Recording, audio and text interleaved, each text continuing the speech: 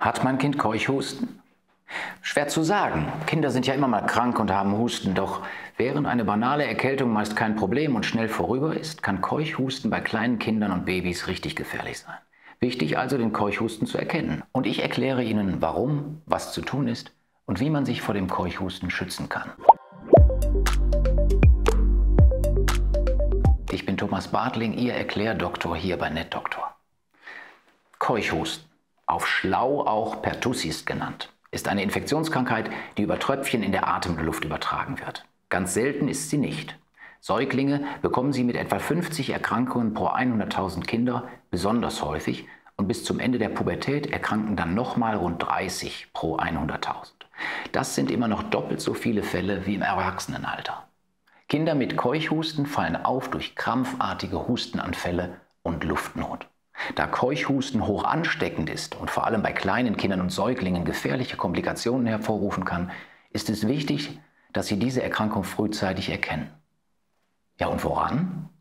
Wie verläuft Keuchhusten typischerweise? Klassisch verläuft die Erkrankung in drei Phasen. Im ersten Stadium versteckt sich der Keuchhusten unter dem Deckmantel einer Erkältung, sodass etwa ein bis zwei Wochen nach der Krankheitsübertragung zunächst so unklare Erkältungssymptome wie Husten und Schnupfen auftreten.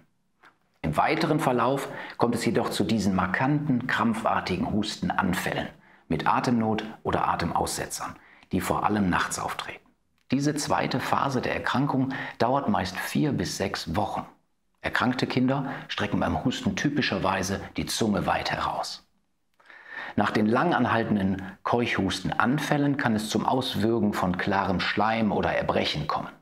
Durch den hohen Druck, der während des Hustenanfalls in den Blutgefäßen entsteht, können Blutungen unter der Bindehaut der Augen sowie Nasenbluten und Einblutungen in die Haut auftreten. Die nachfolgende dritte Phase stellt die Regeneration dar und dauert typischerweise sechs bis zehn Wochen. Die Hustenattacken des Kindes werden während dieser Phase immer seltener. Wie kann ich Keuchhusten von einer Bronchitis unterscheiden? Da die Keuchhustensymptome zunächst unspezifisch sind, können die Beschwerden leicht mit einer Erkältung oder einer Bronchitis verwechselt werden. Den Unterschied macht die Art des Hustens. Beim Keuchhusten sind es krampfartige, in Serie auftretende Hustenanfälle. Husten bei einer Bronchitis ist anfangs trockener, nächtlicher Husten. Im Verlauf der Erkrankung hustet das Kind zwar auch Schleim ab, jedoch kommt es nicht zum Erbrechen. Eine Bronchitis geht außerdem oft mit einer Erhöhung der Körpertemperatur einher, die bei einem Keuchhusten nur sehr selten auftritt und weniger hoch ist. Ein Alarmsignal stellen die Atemaussetzer nach Hustenanfällen dar. Diese entlarven den Husten oft als Keuchhusten. Warum ist es so wichtig, Keuchhusten beim Kind rechtzeitig zu erkennen? Das lässt sich schnell beantworten. Einerseits, weil Keuchhusten zu Folgeerkrankungen führen kann, vor allem aber auch, weil die krampfartigen Hustenanfälle für die Kinder sehr schmerzhaft und kräftezehrend sind. Bei Säuglingen bleibt die Erkrankung besonders häufig unerkannt, da die Anfälle meist nicht so stark auftreten. Auffälliger und gefährlicher sind bei den Kleinen die lebensbedrohlichen Atemaussetzer, auch Apnoen genannt, die mehrere Sekunden andauern können. In diesem Stadium ist eine stationäre Aufnahme in ein Krankenhaus ratsam.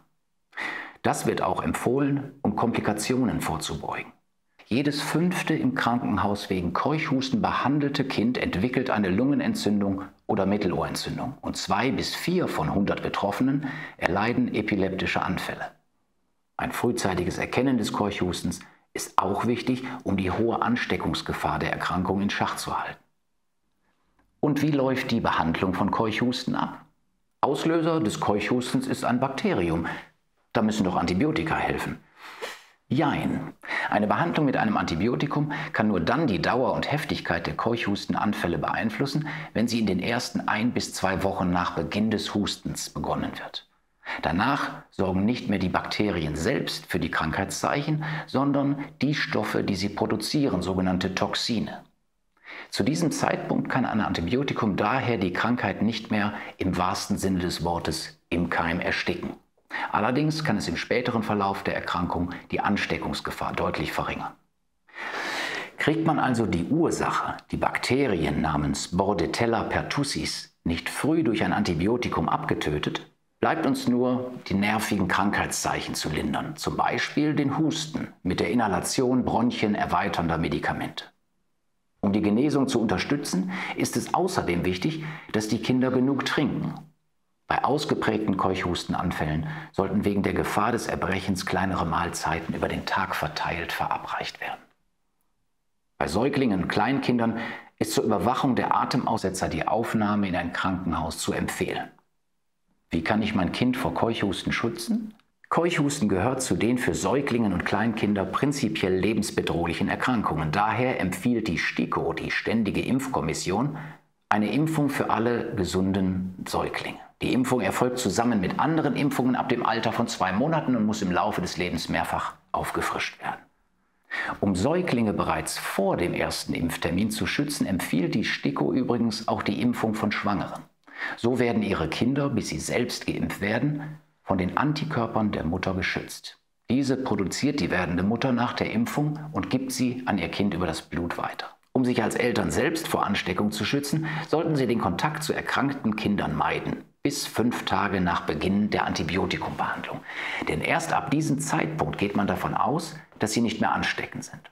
Aufgrund der hohen Ansteckungsgefahr kann auch eine vorbeugende Antibiotikumbehandlung der Eltern von erkrankten Kindern sinnvoll sein. Und ihren eigenen Impfstatus sollten Sie als Eltern natürlich auch kennen und gegebenenfalls auffrischen. Jetzt hoffe ich, dass Sie zukünftig Keuchhusten erkennen, wenn Sie ihn sehen und wünsche Ihnen, dass Sie ihn trotzdem nicht sehen. In diesem Sinne, auf Wiedersehen.